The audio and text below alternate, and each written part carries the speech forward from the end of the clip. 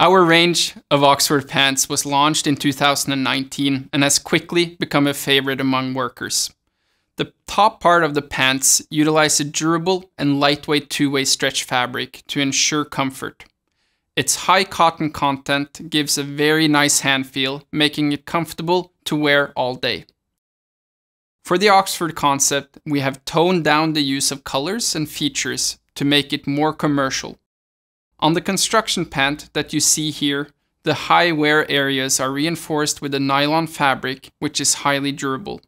As always, the work pant is identical, just without the hanging pockets, while the service pant is sporting a slightly slimmer fit and cargo pocket instead of the specific tool pockets.